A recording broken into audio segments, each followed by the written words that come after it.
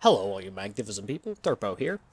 So, the Symmetra changes are out on the PTR, and I thought I would attempt to make a video, hopefully quickly and concisely summing up all of my uh, concerns and opinions on these changes.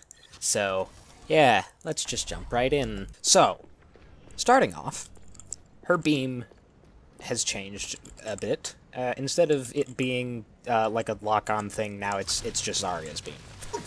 It it has a range of 30 meters, I think it was. It it's got a lot of meters.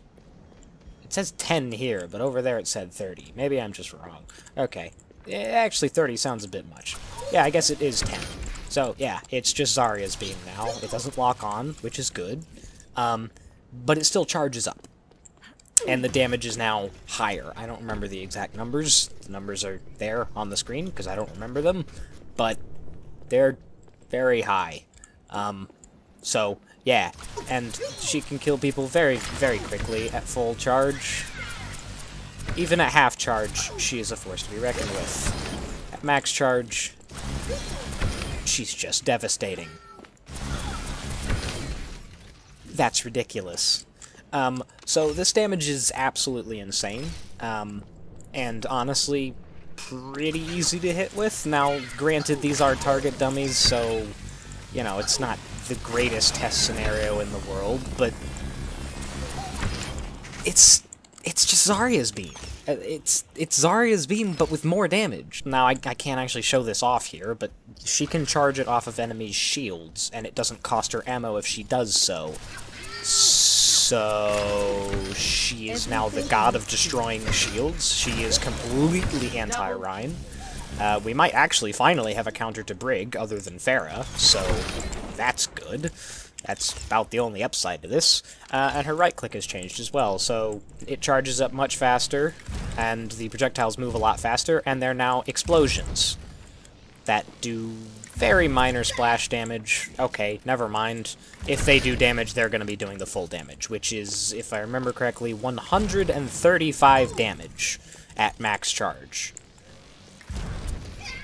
And the other thing about this is that you can just spam fire these things. It only costs one ammo each time, so you have 70 shots before you have to reload, and yeah, they don't do a lot of damage, but you could just spam doorways and chokes and corners and just, just forever. There's no, like, pause for reloading or anything. You can just pop them off. Why is this allowed? So, moving on, we have her turrets, um, which she now shoots as projectiles. Meaning she can deploy them much faster and is no longer slowed down when she's deploying them. That one is currently having a whale of a time. Wow, that is impressive.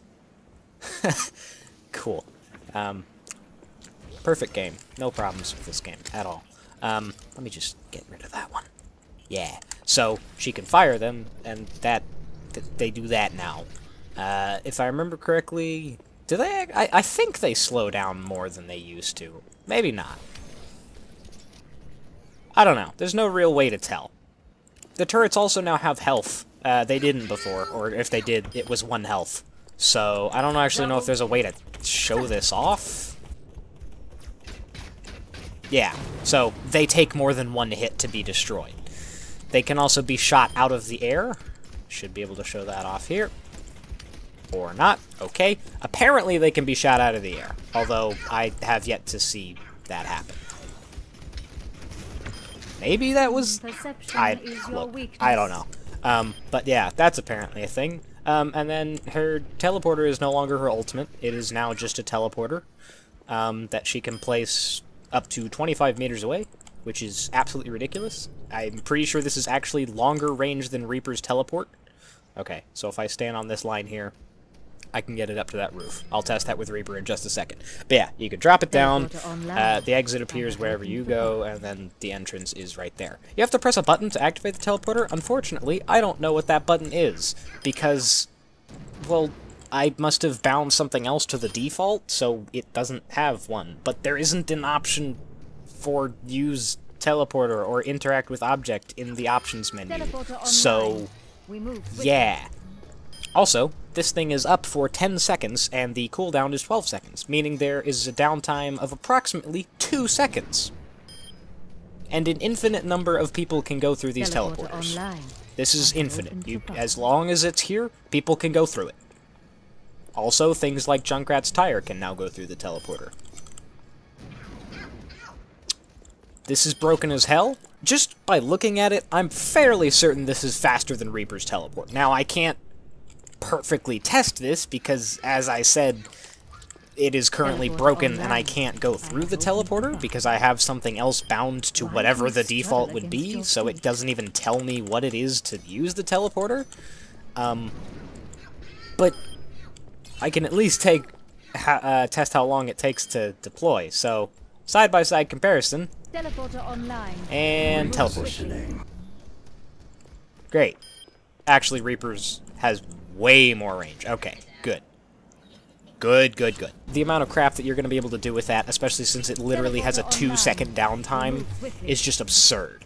That cooldown needs to be way longer. It basically has a two second cooldown. Like, that's not okay. So now on to her ultimate.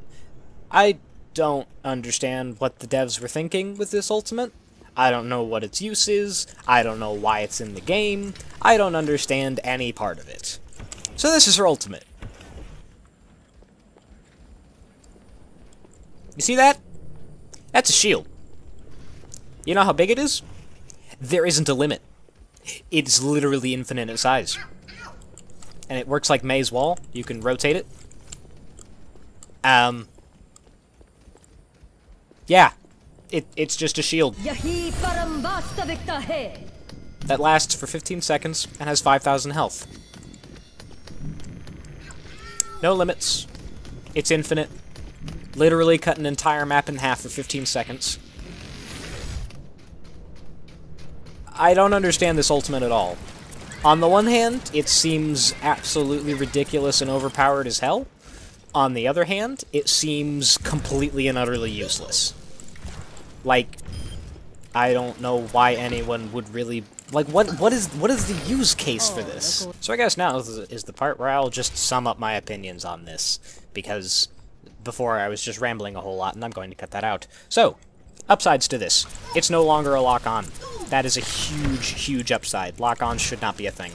Um, the fact that it's not a lock on is the best thing about this entire change. Uh, the other thing I like is her shield is gone, replaced by the teleporter. I like that. I hated that shield. It was very annoying to deal with. Uh, the last thing I like about this is that the shield generator is gone, which is fantastic. So now the Brigitte armor stacking shield generator bull crap giving basically making everyone on your team a tank at the same time meta is dead. Thank God. That was so infuriating. But it's gone now. So we don't have to worry about it. Um, downsides. Her damage is now absurdly high. Just so ridiculously high. Um, I don't like these. They're fast, and they do a lot of damage. And they even do blast damage. Ah, yes. They do do blast damage. That's... That's just... That's crazy. I hate this. Hate, hate, hate that. That should not be a thing. Um, teleporter seems very, very powerful and has teleporter only a two-second cooldown, technically, so that's broken as hell, and the cooldown needs to be much longer. Uh, the shield, I'm opinionless on. It seems simultaneously completely useless and vastly overpowered. I don't. I really don't know what to think about this. I'm just gonna have to see it in a few matches before I can really formulate an opinion on it. In fact, this video is pretty stupid in that I probably should have played a few actual matches in order to better formulate opinions on this entire rework. Perhaps I'll make a video at some point updating my opinions on this. Maybe I'll eventually figure out what the hell this giant monstrosity is for. But until then, hope y'all have a magnificent day. Derpo the Magnificent out.